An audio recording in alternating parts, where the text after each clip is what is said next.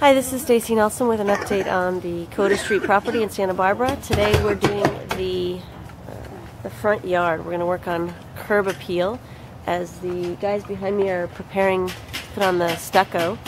Um, we've got a couple guys here to, to help us on uh, cleaning up the yard. Purchased a bunch of, of vegetation already.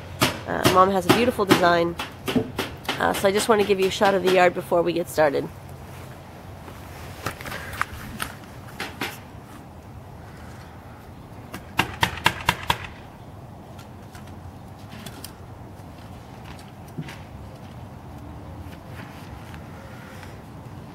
And just how much digging, well, there's the toilet.